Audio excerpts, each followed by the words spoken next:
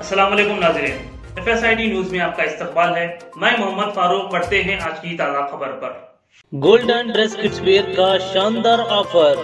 एक ड्रेस खरीदने पर दूसरा ड्रेस आधे दाम में हासिल कर सकते हैं। बिहाइंड मस्जिद नासिर साले शाहशाह गुट्टा एक्स रोड महबूब नगर। इस शानदार ऑफ़र का भरपूर फ़ायदा उठाएँ। M K construction engineering consultants and civil contractors first floor near Krishnaveni school Shahjahan Gutta Mahbub Nagar.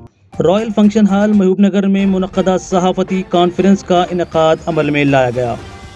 इस सहाफती कॉन्फ्रेंस को मुखातिब करते हुए जाबिर बिन सैयद जाबरी इंचार्ज मजलिस मुताहर जिला महबूब नगर ने कहा कि न्यू टाउन में मौजूद वक्फ आराजी का जो अरसे दराज से मसला था, इसको ख़त्म करते हुए मस्जिद शम्स की तमीर और हज हाउस की तमीर के लिए राह हमवार करने पर वरीस निवास गौड़ से इजहार तशक्र किया। मोहम्मद शब्बीर अहमद, बल्दिया काउंसलर। फ्लोर लीडर टीआरएस ने कहा कि मस्जिद शम से मुतसिल वक्फ अराजी जो तनाज़े का शिकार थी। इस अराजी के मसले को हल करने में रियासती वज़ीर निवास गौड़ जो अहम रोल अदा किया है। इसके लिए मुसलमान महूम नगर की जानब से रियासती वज़ीर निवास गौड़ से इजहार तशक्र किया जा रहा है। सैयद शफीउद्दीन खादरी कॉन्ट्रैक्टर ने कहा कि वक्फ अराजी का जो अरसे दराज से इस अर्जी के मसले का शिकार था, इसको वज़ीर नवाज़ गौड़ ने जिस तरीके से ये काम किया है वो एक इंतहाई बड़ा काम है। इसके लिए वज़ीर नवाज़ गौड़ से इजहार तशक्र किया। इस मौके पर मकसूद बिन अहमद जाकिर एडवोकेट, सदर जिला यूथ मजलिस ने भी मुखातिब किया। मोहम्मद जहांगीर कायद मजलिस के अलावा कौंसलरान बल्दिया Syed Mohsin, Mohammad Muzammil Mohiuddin, Khwaja Pasha, Syed Amjad, Sheikh Umar, Rashid Khan, Mohammad Mehboob, Mohammad Munir, co-option member Arshad Ali advocate के अलावा मोहम्मद हफीज़ मिर्ज़ा जावेद बेग व दीगर मौजूद थे। आज की ये प्रेस कॉन्फ्रेंस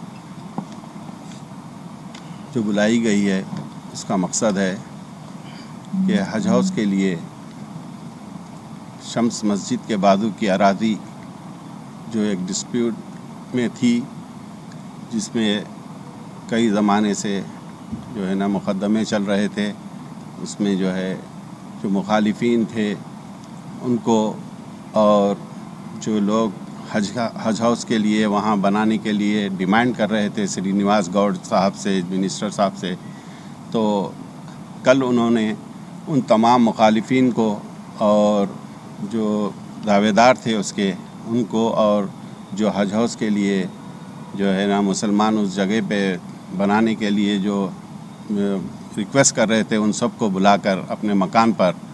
जिस अंदाज में, जिस तरीके से उन्होंने एक संजीदा तौर पर एक अच्छा सा एक सलूशन निकाल कर उन सबसे जो है ना, ये एक मेमोरेंडम ऑफ़ अंडरस्टैंडिंग लिखा दिया गया कि भाई उस जगह पर अगर हजौज़ और शम्स मस्जिद की डेवलपमेंट करते हैं तो वो जो मुखालिफिन हैं, वो लोग उसमें किसी किस्म की दखल अंदाजी या किसी किस्म की रुकावट पैदा नहीं करेंगे। ये एक ऐसा इकदाम है जिसके लिए हम तमाम मुसलमान जनाब वी श्रीनिवास गौड़ साहब, मिनिस्टर का हम तह दिल से शुक्रिया अदा करते हैं और उनका, उनको उस इस इस इकदाम के लिए उनका खैर मुकदम करते हैं। और साथ ही साथ हमें ये भी जान लेना चाहिए कि हमारे तेलंगाना में, आप जानते हैं अब जो असम्बली चल रही है, उसमें जो है पिछले कुछ दिनों से जो है हमारे क़ायद मखना जनाब अकबरुद्दीन अवेसी साहब जो है ना, इस अवकाफ़ी जायदाद के ऊपर आवाज़ उठा रहे हैं। और ये बता रहे हैं कि सत्तर हज़ार एकड़ से ज़्यादा राज़ी तमाम वरक आज मस्जिद शम्स शाह साहब गुट्टा महबूब नगर की जो ज़मीन का मसला था, दोनों पार्टीज़ के बीच कॉम्प्रोमाइज़ करा के मिस्टर श्रीनिवास गौड़ साहब अपने घर पे दोनों को बुला के, समझा के और उनको भी अल्टरनेट अरेंजमेंट करके, उन, वो लोग भी नाराज़ नहीं हुए जैसा।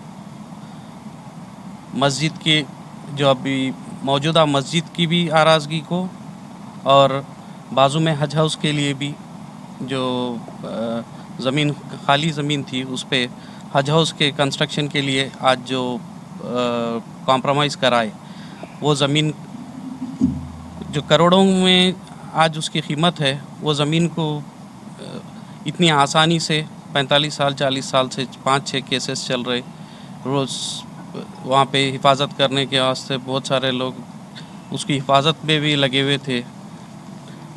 उस, वो मसला इतनी आसानी से, जो चार पाँच दिन से मिनिस्टर साहब अपने मकान पे बुला के वो लोगों से नेगोशिएट करके, बात करके, उनको भी खुशी खुशी वो लोगों को भी मना के जो आज करे। शायद हमारे लिए और, और हमारी आराज़गी वक्फ़ की आराज़गी मुसलमानों की आराज़गी है तो हमारी आराज़गी की को सेव करे। मैं महबूब नगर के मुसलमानों की तरफ़ से श्रीनिवास गौड़ साहब का शुक्रिया अदा करता हूँ। और ये जो पेपर्स आप ये एक ये मस्जिद शम्स के लिए भी जो आराज़गी थी, वो भी मस्जिद शम्स के आराज़गी के जो अहाता है, वो भी क्लियर करा दिए। वो भी, उसका भी एक अलग डॉक्यूमेंट बनाएँ, इसका भी एक डॉक्यूमेंट बनाएँ। हज हाउस का। तीस से चालीस साल बरस से मस्जिद शम्स के बाजू में जो अराज़ी थी, वो अराज़ी के सिलसिले में कल दो पार्टीज़ के बीच में जो ज़मीन का झगड़ा चल रहा था, जो शम्स मस्जिद के बाजू के, जो ज़मीन के बारे में लेकर, उस ज़मीन को कल हमारे हरदी हरदी लजीज़ मिनिस्टर श्री वी श्रीनिवास गौड़ साहब कर, साहब के मकान पर कल दो पार्टीज़ को बुलाकर, वहाँ पर संजीदगी से ज़मीन के मसले को हल किया गया है और मस्जिद शम्स के बाजू में हज हाउस की तामीर के लिए दो पार्टियों को बिठाकर रजामंदी किया है। ये बहुत बड़ी खुशी की बात है। हमारे मिनिस्टर वी श्रीनिवास गौड़ साहब, जब से अलहदा तेलंगाना अलग होने के बाद गुज्तर सात सालों से जो तेलंगाना स्टेट जो तरक्की के उस पर जा रहा है, ये बहुत बड़ी खुशी की बात है। हमारे सीएम केसीआर साहब की सदारत में, हरदिल अज़ीज़ साहब, हमारे मिनिस्टर वी श्रीनिवास गौड़ साहब की सदारत में, जो गंगा जमुना तहजीब की मिसाल जो देखे हैं हम, कल श्रीनिवास गौड़ साहब के घर पे देखे हम, कोई झगड़ा नहीं, कोई मसला नहीं।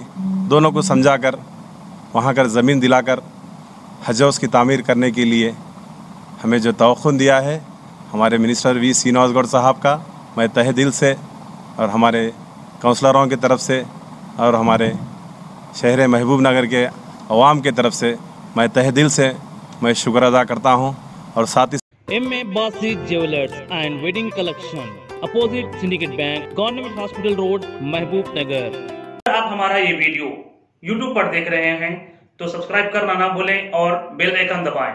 और अगर आप हमारा ये वीडियो Facebook पर देख रहे हैं तो पेज को लाइक करें और फॉलो करें।